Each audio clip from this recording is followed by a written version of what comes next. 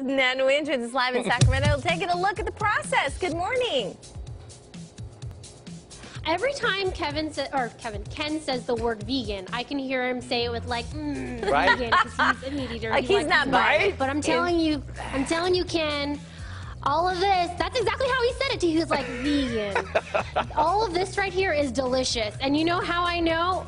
Immediately, we were supposed to do it for the teas. Uh, Andrea scooped out some of the gelato. We ate it within seconds. So I stopped myself from trying a donut because we might not have had any for the segment. Because not only do they do the gelato, see, look, Dave's already going for it again. Uh-huh. She does the baked goods. So you can see the wide array of stuff that she has here. She has the muffins, she's got the cookies. And right now, these are vegan, gluten free chocolate donuts with real chocolate. Talk a little bit about why, or have you always done this in conjunction with the gelato, Andrea?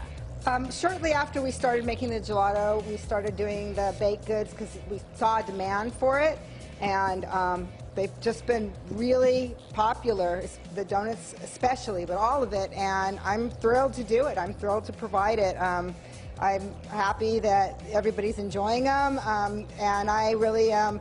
Uh, it's important to me to use real good chocolate, organic fair trade chocolate, um, cocoa butter in them, uh, good almonds, California almonds, and uh, we put all kinds of uh, delicious ingredients in them. And we also do uh, just regular vegan donuts. Uh, right now, we're we don't have them um, baked yet, but we, we're featuring our strawberries and cream and our lemon poppy seed.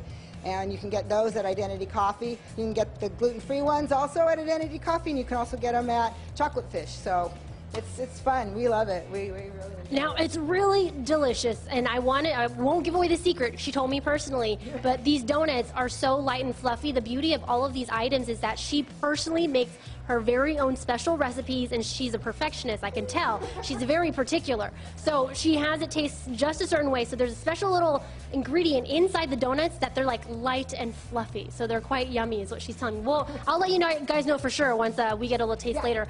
And I wanted to mention, you guys are working on a fun little project. Yes.